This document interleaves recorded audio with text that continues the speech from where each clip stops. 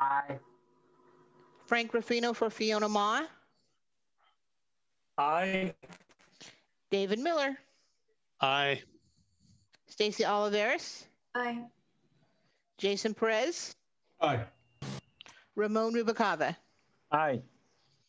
Madam Chair, we have all ayes. Motion made by Henry Jones, seconded by Theresa Taylor.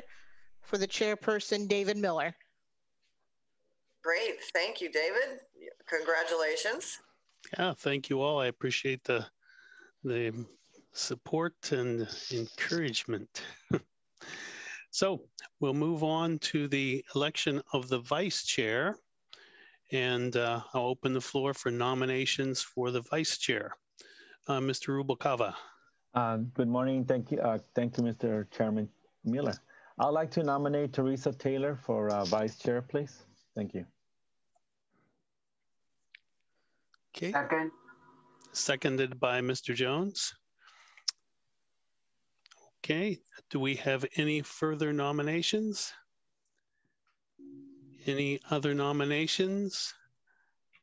And once more, any other nominations?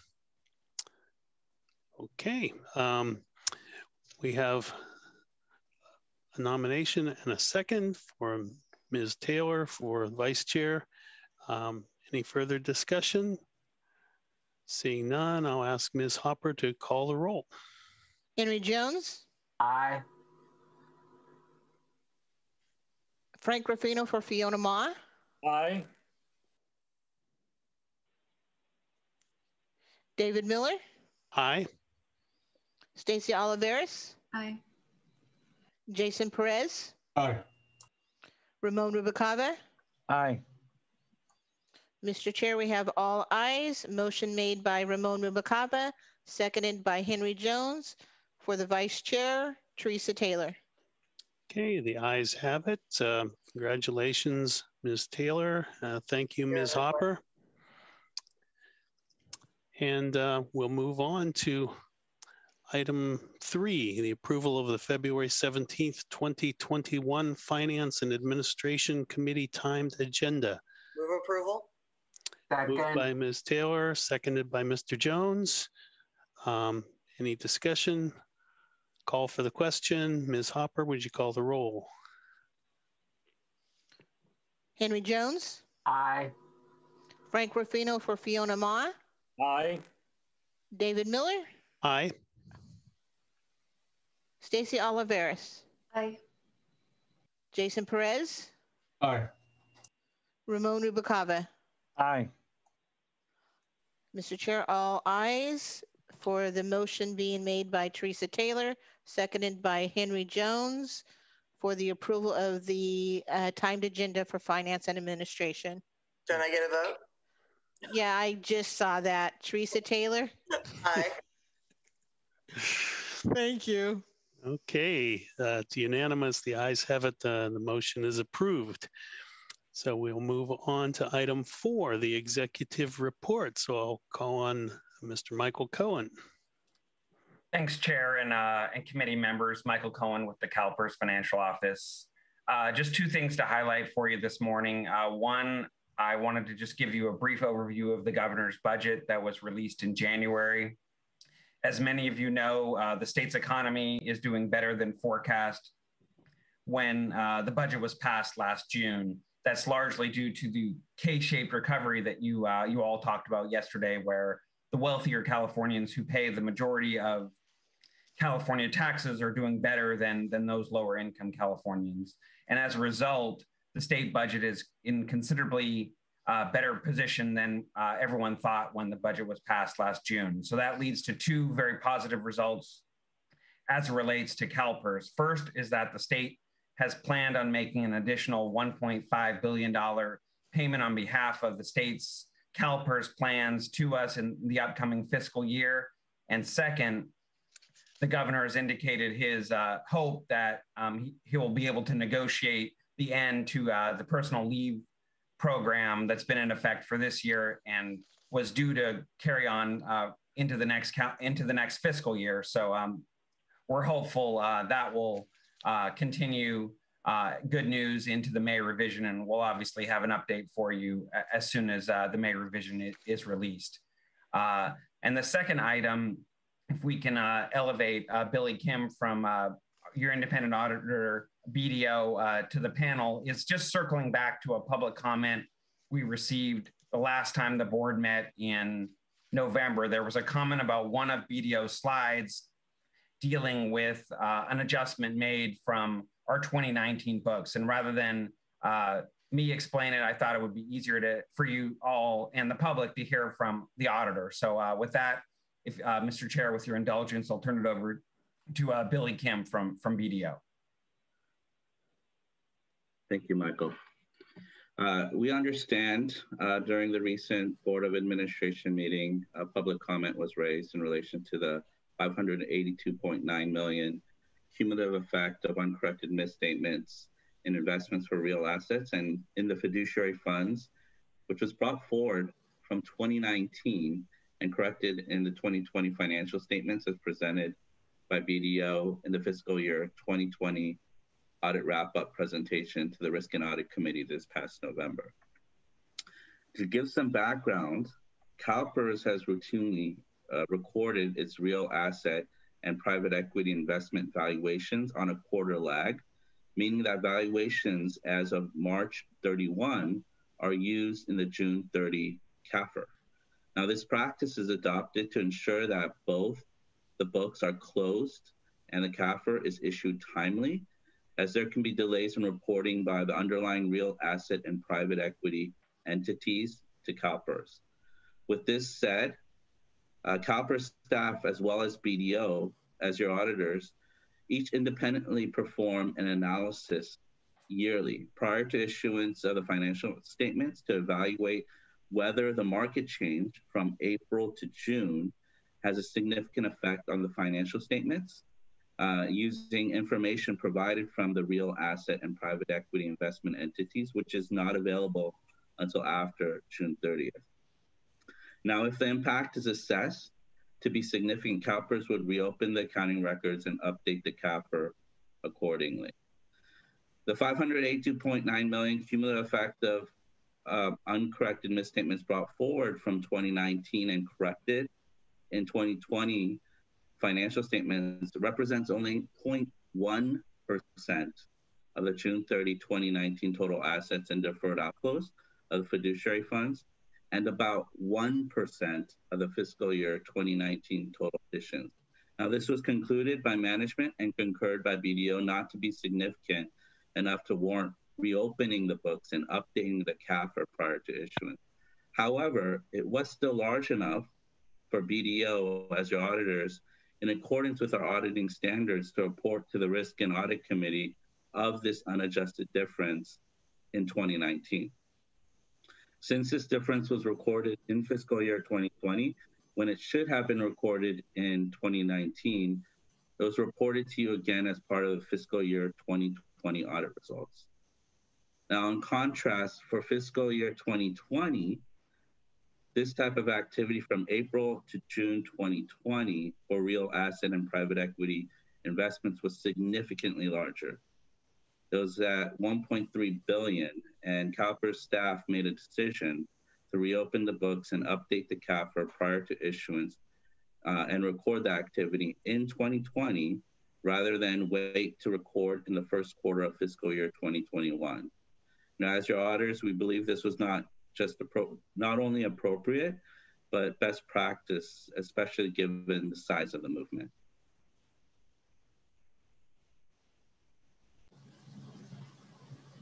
Thanks, Billy, for that explanation. Uh, Mr. Chair, that concludes our uh, my executive report unless uh, there are questions or comments. Yes, sir. We do have a couple questions or comments, and uh, the first one is from Ms. Brown. Thank you. Did you want to take committee members first, or uh, I'm willing? Ms. Frost is saying yes. Why don't I wait and you take committee members? Yeah. And okay. Thank you. Then we'll do that. Um, so, President Jones. Yeah, thank you, uh, Mr. Miller.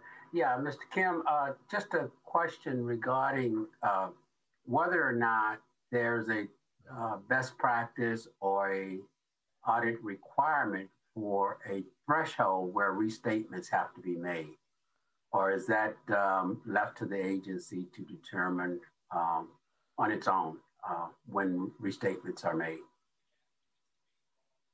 Yes. Uh, well, first off, a restatement has a very specific connotation in, in the auditing and accounting word uh, world. And um, but I, I, I, take your, your your question as to whether there needs to be an adjustment to the financial statements prior to issuance.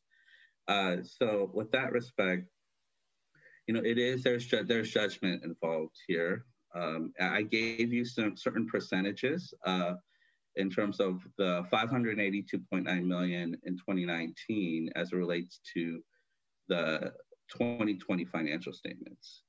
And uh, 1% or even anything less than 1% uh, in our in, in, the in our profession is uh, considered to be uh, you know something that is not material uh, but but again there is still judgment um, involved in this and so this is something that uh, is uh, at the discretion of management, uh, but also at the same time, uh, you know, something that your auditors uh, and BDO, being your auditors, would be in discussion with with management if we have any disagreements uh, as such on that. Thank you.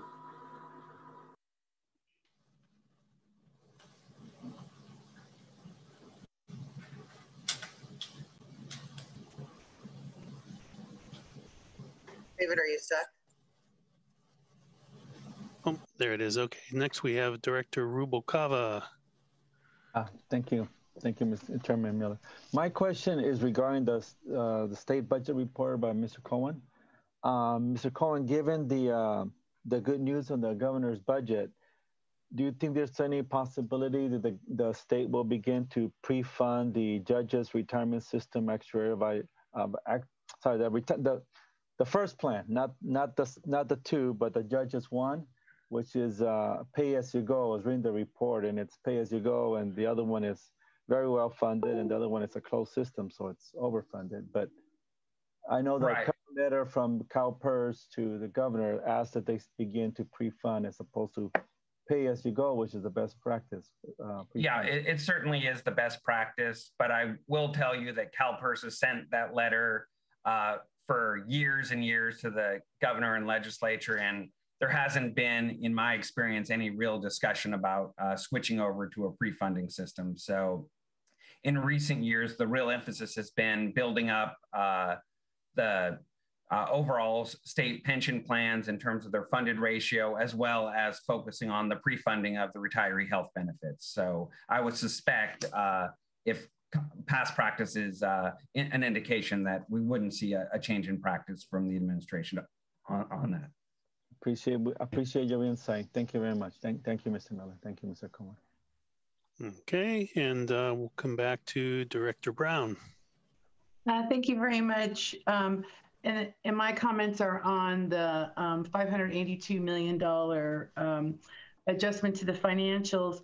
Um, and uh, first of all, I sit on the Risk and Audit Committee, and um, this was missed by me. And thank goodness for the speaker who came and uh, brought it to our attention. Um, so this adjustment, Mr. Kim, according to you, is because of the uh, the change in the asset value of real estate assets from for that for or private equity assets. I'm sorry for that quarter, right?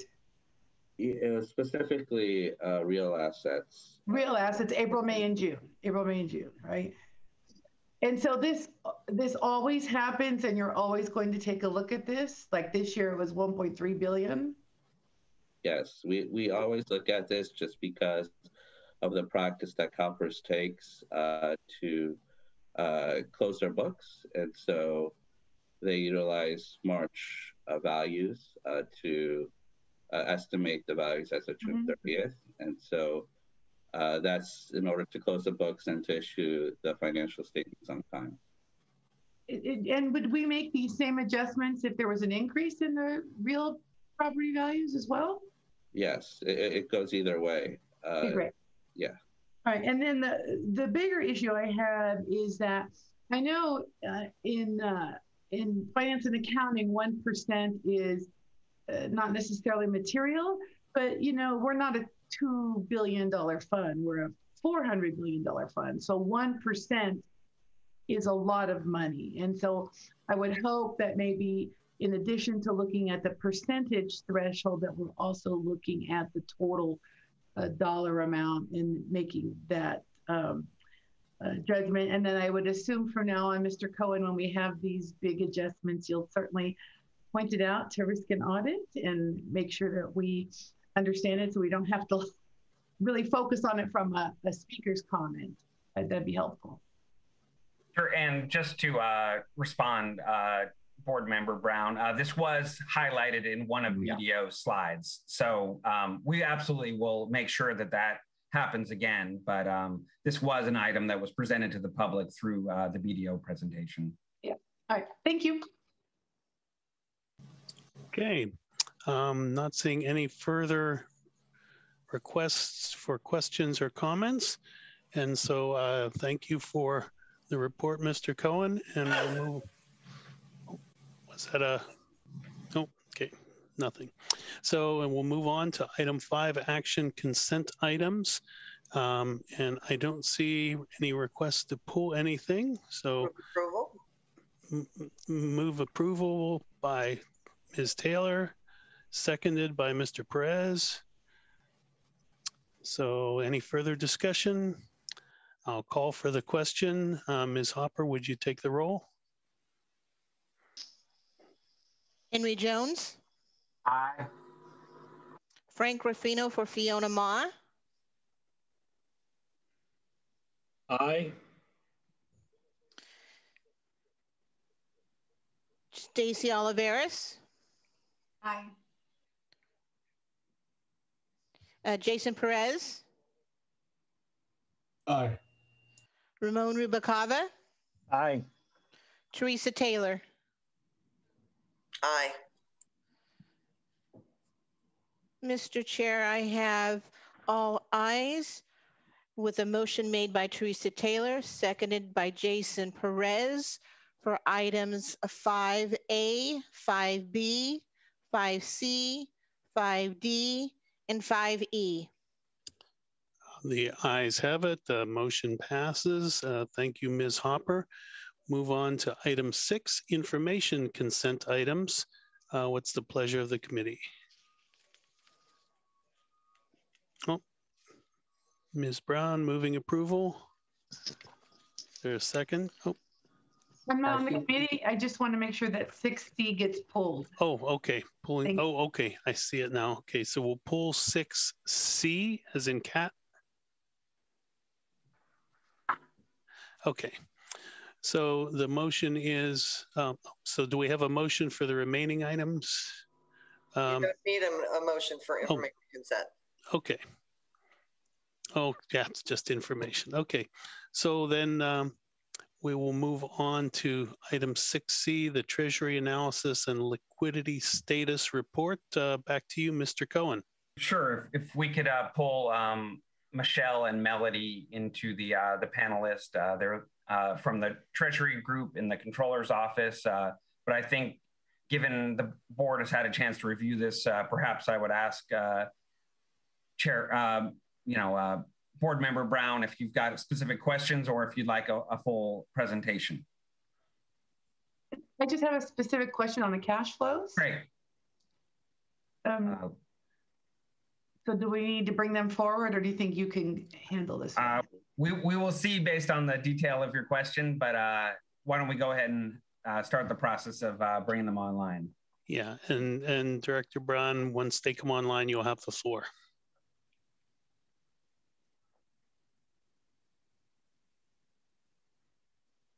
Michelle and Melody should be able to share their audio and their video. Excellent. So I think my, my question is fairly simple. I'm looking at um, uh, item six, the attachment 1, page 2 of 12, where um, we are looking at uh, the cash flow um, forecasting. And then I'm really looking at the last chart on that page, which is the actual versus estimated non-investment and investment cash flows. And I I like how they look, except December 20 for um, the actual uses and the estimated uses. Uh, we it looks like we're off by about two billion dollars. I don't know if this, because we only see a snapshot of one year, I don't have a trend. Is this something that normally happens? Or can you explain sort of uh, why that big miss there? Or maybe I'm reading um, it wrong. Or maybe I'm reading it wrong. I don't know. No, that um, that seems like uh, uh, the right way to uh, interpret that chart. Uh, Melody or Michelle, you want to take that one? Um, yeah, could you, Margaret, could you tell us again what page you're looking at, just so we have sure, the right Sure, it's page uh, two of 12, and it's the cash flow uh, graphs showing the actual versus estimated uses, the very last chart on the bottom of that page. And, you know, as you look across, they're all, uh, you know, pretty close, you know, sources versus uses. But then you look at December 20, of course, we got a lot more revenue in, but our u- actual uses compared to our estimated uses was off by, um, I think that's $2 billion. Kind of hard to tell. I'm looking at it on a little screen. But I'm just wondering why we were so far off in December. And is that normal? Because when we see this chart, we don't we don't have a trend. We don't see a trend line. And so maybe I can ask for that going back a couple of years what the December what the December number is or has been. Sure. Um, it, it is normal to have that kind of a fluctuation. I will say that um, this particular um, December activity is just due to investment activities. So there's more opportunities uh, that happen in this particular month, and uh, that we took advantage of them. It's hard to estimate that. Um, we try, but um, do our best. But it, in this case, we just we, we were just off. Is it, it, it, no no no nothing specific happened in terms of uh, more uses? I mean, nothing nothing. Melody, you you want to jump in on the detail and see if if you can give her a little bit more color on that, please? Um, sure. I know that this that there's volatility that can occur um, because of investment activities. So I, uh, my team's kind of looking into it, but we can get back to them on that one. That'd be helpful. I just, I just want to know, and if this is something that normally happens, or if we missed. I mean, it's nice to know why we missed, right? If we underestimated. So, thank you. That was my only question. Sure. Okay, um, seeing no more questions on the information consent items. So we'll move to item seven, action agenda item, the 2021 CalPERS Board of Administration member at large notice of election. And so for that, I will call on Dallas Stone. Welcome, Mr. Stone. Good morning. Um, good morning, members of, of the CalPERS board, Dallas Stone, CalPERS team member. Um, a quick congratulations to Mr. Miller and Ms. Taylor on your chair and vice chair selections. Um, this is an action item seeking the Finance and Administration Committee's approval to initiate the 2021 member at large election for two seats on the CalPERS Board of Administration by adopting the notice of election. Last December, the board declared a finding of emergency and approved the initiation of an emergency regulatory action with the Office of Administrative Law to also allow non original signatures on nomination petitions as a way to mitigate COVID 19 risks from person to person contact during signature ga- gathering activities for the upcoming election. The emergency regulations were approved by the Office of Administrative Law on January 11th, 2021. Changes from the approved emergency regulations are reflected in the notice of election, which is included as attachment one to this item. The notice of election also outlines the election schedule. In previous elections, we have re released the notice of election in late March. Due to the pandemic, we have ex extended the nomination petition period to give potential candidates more time in gathering signatures for this election. If approved, we will release the notice of election on March 15th, 2021, which will also start the nomination period. Nomination petitions containing any combination of 250 eligible original or non original. And when we say non original, that's defined as meaning either reproduced or scanned copies of the original signatures will need to be submitted to CalPERS by 5 p.m. on May 13th, 2021. Um, all forms related to nomination requirements will be posted on the CalPERS board election webpage.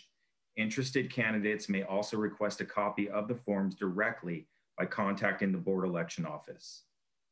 After approval, the board election team will work with its vendor to print and mail the notice of election to retired members.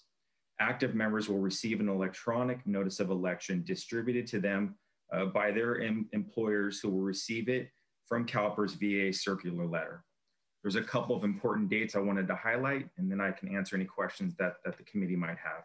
So on March 15th, um, we'll be releasing the notice of election and it'll be um, electronically um, disseminated as well as mailed to our retire, eligible retirees. Um, May 13th, uh, the nomination petition, nomination acceptance, and ballot designation forms and candidate statements are due to CalPERS by 5 p.m. On August 27th, uh, ballots will be mailed directly to eligible voters. Eligible, eligible voters will have the opportunity to submit their vote either online, by telephone, or by paper in accordance with the instructions provided in the ballot package. And our eligible voters will have until September 27th, and that's when all voted ballots must be received uh, by CalPERS on or before this date. I'm happy to answer any questions you have any at this time. Okay, thank you very much, Mr. Stone. I do have a question from Director Olivares much. Um, Mr. Stone, I had a question about B, uh, I'm sorry, about A, the nomination petition form. So I see that the last four digits of the social security number to be verified by CalPERS. Will the last four digits of a candidate's social security be on the signed petition form? Yes, it will. I'm concerned that poses a risk to identity theft this is something that we're um, internally discussing with CalPERS. It just it, it, it, the the the mandate that the the last four of the social is in our regulations. We, we again, this is something that we're we're talking about internally, um, and we're looking at um, at other options to collect identifying information um, in order to um, do the our, our internal validation processes in order to complete the nomination petition process. Uh, we're looking at things as, as maybe an, an, internal electronic nomination petition format behind the member self-service pen with our IT department. Um, but again, not only will we have to build this internally with our IT team, but we'll, we'll also need to pursue regulation changes. And we just did not have enough time within this, within this election period in order to do that, Ms. Olivares. I would like to suggest that we pursue a bifurcated process by which CalPERS can do validation or verification of the candidate's identity and receive those four digits from the candidate, um, but that the candidate does not have to put their last four digits on the nomination form that is signed. I don't see any reason for signatories to have to review the last four digits of somebody's social security information. I think that's something that we can discuss with with our legal team. Again, it is in our regulation, um, it, and it is part of the regulation that defines what that nomination petition is. So it's just a matter of if we would be allowed to do that. Ms. Olivares, let me maybe weigh in as well. This is, and this goes back to some some point in time that Dallas mentioned in the in current regs. This is also consistent with the Secretary of State. They actually request that same information. So I'm pretty sure when that was originally developed many years ago, that was sort of modeled on that requirement. Um, we are looking at it internally, um, but again, the regulatory process will take at least a year, um, which by time we will still be in another election process. So. Just out of curiosity, what if someone doesn't have a social security number?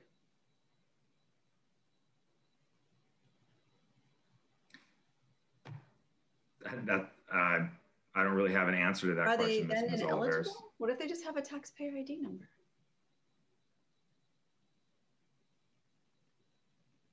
I've never been posed that question before, Miss Oliver, so I'm not I'm, I'm I'm not sure, but I could I'm happy to work with our our, our legal team and and be able to respond back with an answer. I just think it's that. an additional consideration as we go through this process. Um, but yeah, I just want to say I am very concerned about the risk of identity theft here because its name, its employer information, its address, and the last four digits of the social security number. I, we, we hear you. It's actually, when I looked at the Secretary of State's website to register to vote, it's actually, we're asking for less information than the state does when you go to register originally. So I'm not saying it's better. I'm just saying it's what was in existence at the time and currently is in yeah. part of our regulatory process. So without that one year period for the regulatory change and any other modifications, plus the budgetary item that Dallas spoke to from an internal build to have that done in our electronic system, we'd have to bring that back for additional consideration. I understand these things take time and I've been through the emergency reg process and it's not quick, but thank you very much. Okay, next it looks like uh, I have uh, Mr. Rubalcava. Uh, thank you, Mr. Chair Miller. I had a, um, a question on the uh, the schedule. Uh, on the very bottom, talks about the sitting of the board member elect. It says the effective date will be January 16, 2022. I don't know if that's regulations or what, but that's a Sunday. Does that matter according to the regulations? Just thought I'd ask. No, sir. Thank we you. just know that the the current um, board, uh, Mr. Miller and um, Mrs. Brown's um, current um, board election, or I'm sorry, um, um, their their term ends on January 15, 2022. So this would be the official start date of the the new term for the for the two candidates that that win the election. So it doesn't matter that it's a Sunday, then it just not, okay, thank you. No, sir. Okay, uh, next, uh, Ms. Taylor. Yes, thank you. Uh, Stacie, good question, because I think everybody has to sign, everybody that signs the form also has to put their last four, if I recall correctly. Yeah. Um, but anyway, um, I'd like to make a motion to adopt the um, changed notice of election. Okay, we have a motion and we have a second from, who was that? Oh, Mr. Jones. Okay, so we have a motion and a second. Any further discussion? Seeing none, uh, I'll call for the question and ask Ms. Hopper to please take the roll. Henry Jones. Aye. Frank Ruffino for Fiona Ma. Aye. Stacie Olivares. Aye. Jason Perez. Aye. Ramon Rubalcava. Aye. Theresa Taylor. Aye. Mr. Chair, I have a motion made by Theresa Taylor, seconded by Henry Jones for item 7A with all ayes. Okay, the ayes have it. The motion passes. And uh, we'll move on to item eight, the information agenda items. And uh, 8A, Pension Contracts Management Program Report. Um, Mr. Cohen, would you like to introduce our presenters? Certainly, uh, this is a quarterly information report, but we did want to uh, highlight, uh, in, uh, in particular, some changes we're making to the termination process. Uh, let me turn it over to uh, Andy Nguyen in the pension contract division to walk you through the, the, slides. Thank you, Michael. Um, good morning, Mr. Chair and member of the committee. My name is Andy Nguyen, CalPERS team member. I'm here this morning to present information item 8A, the Pension Contract Management Program Quarterly Report. Slide two, please. The collection activity report provides a summary of collection activity during the second quarter of fiscal year 2021 and provide a snapshot of outstanding cases to January 31st, 2021. Of the 27 outstanding cases, that present during the last quarter, seven were resolved and 20 remain outstanding, totally over $500,000. We are actively working with the employers to resolve these delinquent cases and think they are solvable. Slide three, please. Pension contract is currently managed four ongoing payment plans. three for termination costs, and one for annual UL payments. We received good faith payments from Central Sierra Planning Council and SATA LAFCO, totaling $200,000. All payment plans are current. Lastly, we are working with the with San Luis, San Luis Obispo Regional Transit Authority to resolve the remaining termination payments. Slide four, please. There are two active termination cases, but these are hold, over from the first quarter and were reported last quarter. There were no new termination requests during the second quarter. Slide five, please. In 2020, three employers experienced a significant increase in their final termination costs compared to their preliminary estimated costs, mainly due to the bond market volatility. In response, a cost divisional working group reassessed the termination process and implement improvement for new termination cases going forward. Our goal for employers considering or entering termination is to provide as much information as possible to inform their decisions, whichever direction they go, and make the process as smooth as we can. This slide summarizes changes made to the termination process. We, we will increase cost program educational to employer regarding termination costs and process. We will provide a broader range of termination cost estimate to the employer in the employer preliminary evaluation report. We will accelerate the completion of the data verification process and the evaluation report. And lastly, we will engage earlier with employer on negotiating how they will pay for the termination costs before the contract is terminated. That concludes my presentation. I'm happy to answer any questions. Okay, thank you for that presentation. And I do have a question from President Jones.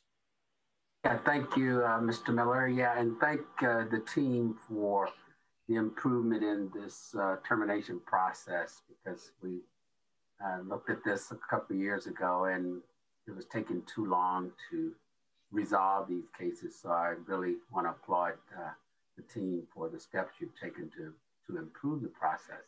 I do have a question on slide three of your three of five, where it talks about the payment terms, where five, seven, pending two year designation there. My question is, what is the maximum length of time that we would uh, allow for them to uh, make these payments before we take some kind of more drastic action? Uh, so when when we're working with the employer uh, negotiating for the how they want to pay for the termination costs, we tip if they're asking for a payment plan, we typically uh, negotiate for uh, either three or five years. Um, it's all depend on um, we we view their financial situation, their financial position to see if it's uh, you know if it's is that affordable for them to uh, enter into a payment plan agreement for three or five years. So does that mean they can go beyond the seven years as you listed here? Uh, for for SATA LAFCO case is a, a, a special case, um, and the, the circumstance for that one was because the final cost increased drastically over 30%. And um, when we first uh, working with them, they has already worked with, with their board and agreed to pay based on the estimated cost over a five years period. Uh, but when since the cost went up significantly, uh, they asked if they can extend that to a seven years. Um, so we we assessed their uh, financial situation and they were to and, uh, um, we were to agree to um, uh, let them pay this off over seven years. So there's no maximum. Is am I hearing you correctly? Um, it's they, we, we do have a maximum, but we're typically working with our actuary office to ensure that um, whatever the payment term is, is not longer than what it, whatever the uh, future expected lives for the remaining of the members. Okay, thank you. Okay, I'm not seeing any further questions or comments. And I just want to thank um, our presenters and the teams that put together the presentations. Uh, you know, nice, concise, clear presentations and responsive to our questions and appreciate all the work that went into them. Thank you. Okay. Um, 8B, summary of committee direction. Mr. Cohen. Thanks, Mr. Chair. I do have uh, two items of follow up. Uh, first, uh, in relation to the uh, liquidity report on uh, the page two, the bottom chart, just a follow up in terms of uh, December 20, and we'll also pull together the last couple of years of, of charts for the committee and the board. And then finally, on the election social security number conversation, uh, we're continuing to work on that issue, but we will give you an answer regarding uh, CalPERS uh, voter who does not have a social security number, how uh, that gets handled. And I think, unless I missed something, those are the two items. Okay. Yep. Looks looks like uh, we have agreement on that. And so I will move to 8C public comment. I'll call on staff, Mr. Fox uh, or, or Cheree. Do we have any public commenters queued up?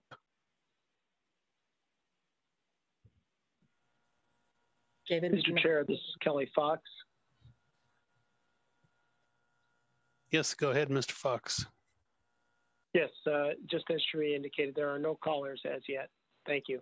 Okay, so we have no public comment. So um, at this point, hearing no objections, I will call to adjourn the meeting.